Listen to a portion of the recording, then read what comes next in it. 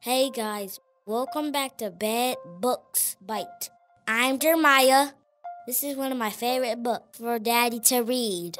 Enjoy. Today we're reading Read to Tiger.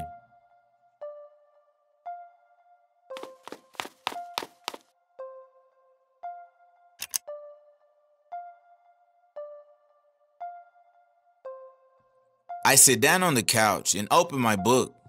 It's time to read. But I can't read because there's a tiger behind my couch chewing gum. Chomp, chomp, chomp. Uh, tiger? I shake my head. Please spit out your gum. I want to read my book and I can't think when you chomp.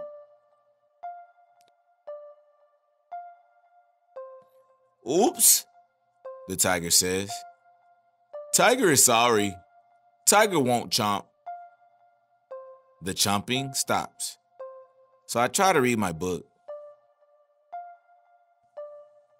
But I can't read my book because I hear.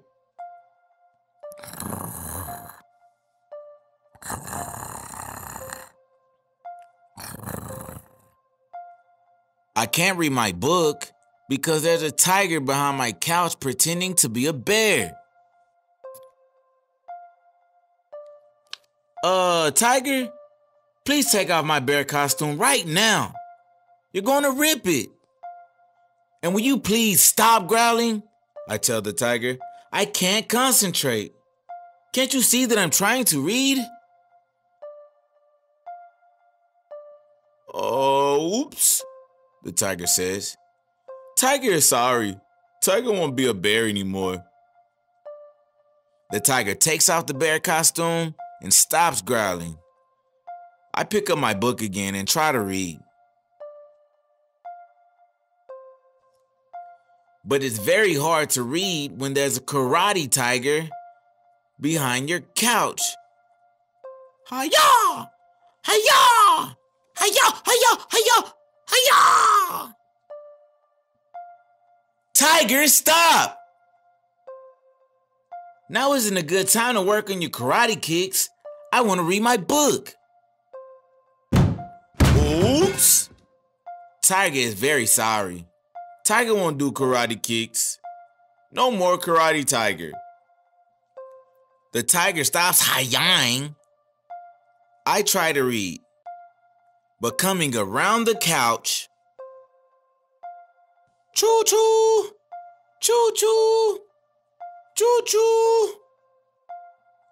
There's a tiger riding my toy train and blowing a whistle. Uh, tiger, get off that train right now. Stop choo chooing and stop toot tooting. I want to read. Can't you be quiet? Uh, oops. Tiger is sorry. Tiger can be quiet, the tiger says. The tiger stops choo chooing and toot tooting. I try to read my book again. Suddenly, creak quack, creak quack, creak quack, creak quack. Ah! My couch is flying up in the air because there's a tiger under it. Tiger! Put me down! What in the world are you doing under the couch? Tiger is looking for the whistle. Tiger lost it. The tiger sniffles. I help the tiger find the whistle. Then I say, Tiger, please sit down right here and be very, very quiet so I can read my book, okay? Okay, Tiger will sit down. Tiger will be very, very, very quiet. The tiger whispers. The tiger plops down on the floor in front of me and he is very, very quiet. He doesn't make another sound. No chomp chomp chomping.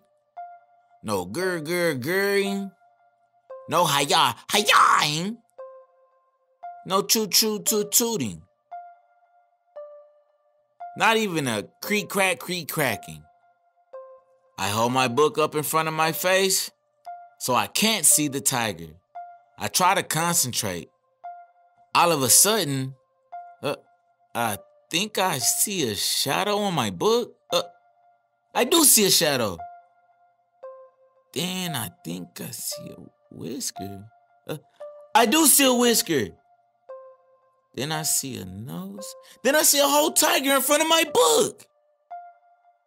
Tiger! What are you doing? You're in the way. I can't see my book. I am trying to read.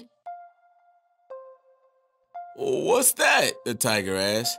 The tiger points to a picture in my book. That's the tiger in the story, I tell him.